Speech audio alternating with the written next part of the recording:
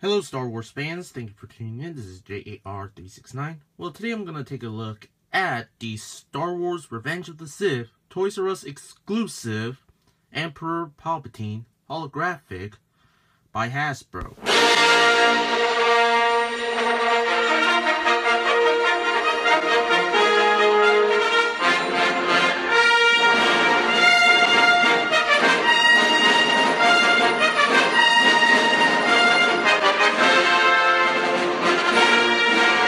Okay, so before we look at the figure, let's look at the packaging for the figure. We got the image of Darth Vader, in the top we got Anakin fighting with Obi-Wan at the end of Revenge of the Sith. On this side we got the Toys R Us exclusive sticker right here. On the other side we got the Emperor Palpatine and Toys R Us exclusive on the bottom, warning, choking hazard, blah blah blah. And on the back here, nothing else, just the image of all the three emperors.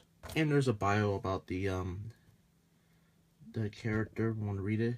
Go ahead pause the video.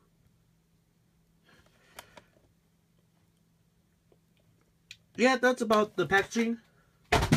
Now let's look at the figure itself. Uh the this figure is the same mold as the the regular Palpatine, the common one, which is yeah, isn't really a regular one. Now let's look at the um the T-tail wise. T-tail wise, it's basically the same except it's holographic.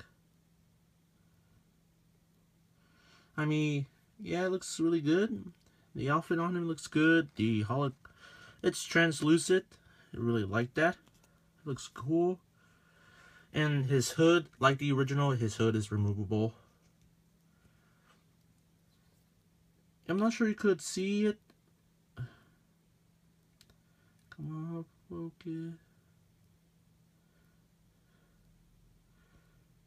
Yeah, I won't focus on him.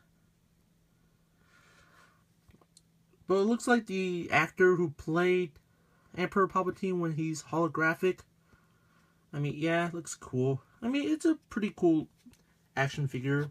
Looks cool. For articulation, head can fully rotate. And it goes up and down like that. Let's put back his hood. Arms go fully rotate, go in and out. Wrist rotates.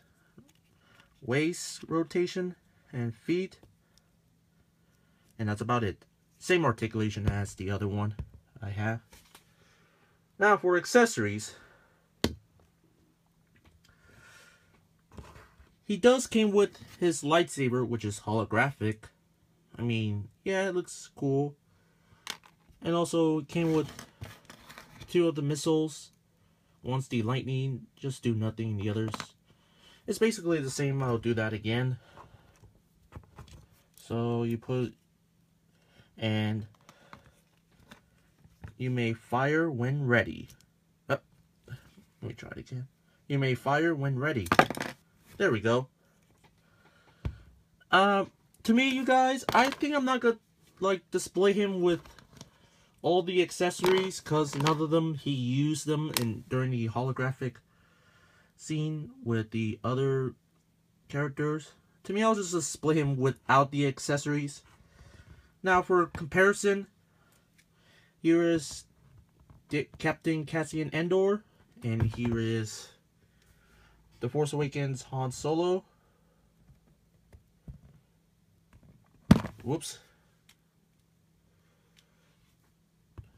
Uh, you can see he is like, you can see him, Palpatine is a bit shorter than the, than Captain Cassian Andor, and he is like,